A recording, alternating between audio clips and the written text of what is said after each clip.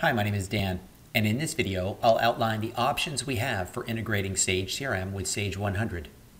By connecting the two applications, Sage CRM users can view Sage 100 accounting data and create orders in Sage CRM that feed directly into Sage 100. There are two options for setting up the integration. The first option is published by Sage, and the second option is published by a development partner called Greytrix. With Sage's version of the integration, when we bring up a company, we can launch Sage 100's customer maintenance module to view or edit details related to an existing customer. We can also launch the Sage 100 order entry screens if we need to create a quote or an order. As well, we can also run certain Sage 100 inquiries. With this Sage version of the integration, users must be within the local area network in order for the integration to work. The Greytrix version of the integration is different.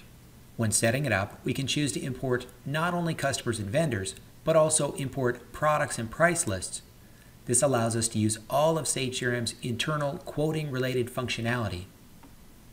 On approval, an order created here will pass right over to Sage 100 to be invoiced.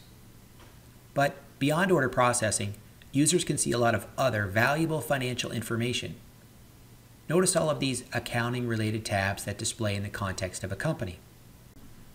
With the Greytrix version of the integration, users do not need to be on the local area network in order for it to work.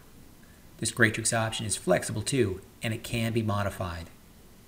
Not only is Sage CRM a practical environment for our customer facing staff, but using CRM results in fewer staff requiring direct access to Sage 100.